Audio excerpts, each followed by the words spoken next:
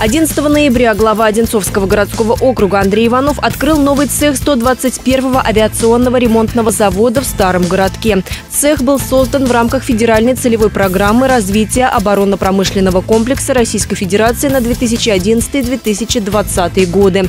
Здесь будет производиться весь цикл окраски самолетов типа Як-130, Су-25, МиГ-29, Су-27 и других. Для работников оборудованы комфортные помещения различного назначения. Глава муниципалитета поздравил коллектив с 80-летним юбилеем АРЗ и наградил отличившихся сотрудников грамотами и памятными подарками.